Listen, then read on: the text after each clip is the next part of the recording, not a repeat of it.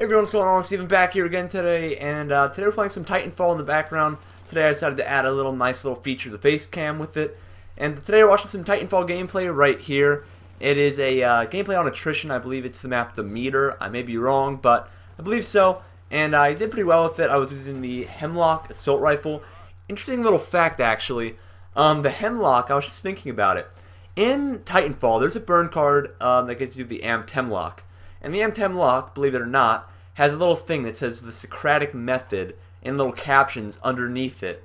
So I was just thinking, you know, for those of you guys who have gone through school might have heard of the guy named Socrates.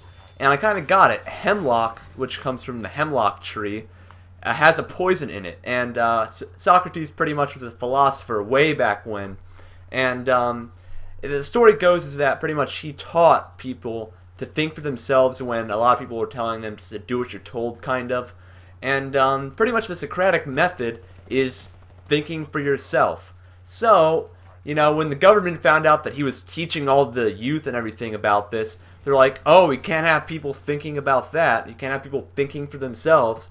So they decided to put him on trial and say, hey, Socrates, you go back and tell all of your students that you were wrong. And Socrates denied, and they said, okay, then what we're going to do is we're going to poison you to death with the hemlock tree's poison, and pretty much they made him drink a thing of hemlock, which will kill you, and he ended up dying. So kind of interesting thing, I actually used it in this gameplay. Just a cool little story, I thought. So Socrates ended up did actually dying. So um, yeah, just a little cool thing I found while playing Titanfall today. But anyways, today here's Titanfall. I just wanted to kind of briefly talk about with you guys some speculation going around with Titanfall. So lately, on Amazon, there is reviews for Titanfall right here. There's reviews for Titanfall on Amazon, and pretty much what people are saying is is that Microsoft is paying Amazon to take down one-star reviews, which ultimately drags down their um, rating for the game. Now, this leaves a bad impression on other people, like, you know, people who are looking to possibly buy the game.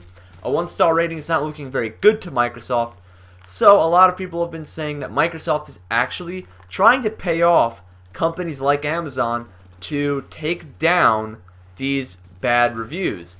And, you know, this is something that's really kind of not accepted in the business world to pay people out, so to say, to, you know, make your product look better than what it really is. And to be quite honest, you know, I don't think this is something that Microsoft might have only done themselves. Maybe they did, maybe they didn't. I'm not saying if they did. But if they did, you know, it's all business, you know. People do this all the time, you know. Companies like Microsoft, all the big companies have the kind of money to pay off Amazon to do kind of stuff underneath the table, so to say, where, you know, not everybody's informed about it, and they can pretty much just, you know, pay them a few uh, thousand dollars, whatever it may be, and to say, hey, do this for me and I'll slip you a few thousand dollars, or whatever it may be, and they end up doing it.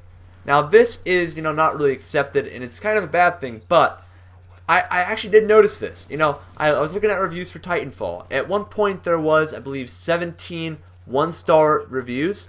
I came back about a day later. There were 8 one-star reviews. So, I'm not exactly doubting it because I went back and there was actually less one-star reviews than when I first arrived. So, I'm thinking that maybe Microsoft is paying people off, but you look at this corporations always do it, you know. It's really something that's almost become kind of a custom, you know. It's almost like YouTubers with almost like supporting a product that really is shitty, but they decide to really just say, oh, it's great. And these companies seek out people that have, you know, higher influences pretty much, and pretty much just say, hey, I will pay you money if you say my product is great. So they're going to say, here's a couple thousand dollars for your troubles you post this on YouTube or whatever your main source of getting your thoughts out there to people and say, oh, I got this amazing product so-and-so from this company. They're awesome. Make sure you guys go buy their product. And, you know, the YouTuber or whatever it may be benefits in the aspect that they get money, but the actual people that are watching kind of get scammed when they buy a completely bad product. So it's kind of, you know, kind of a bad thing in a way, but companies have the power to do this because they have money. And you know what? In the real world, money does talk. So, you know, you slip the amount, a certain amount of money to certain kinds of people, and you know they're willing to take it because money. What is the main goal in life for you know everybody? To make money, because money gets you everything in life. It gets you anything you want. Money gets you everything. Not everything in a way, but you know, you live off money. How you do in terms of comfortability of living depends on money. So everything's a business. Whatever gets them profit, they're gonna do, and it shows in even today's world. And with the Titanfall reviews on Amazon, and with you know all sorts of other business deals going around on YouTube, with partnerships like Elgato supporting people like Ali-A, things like that.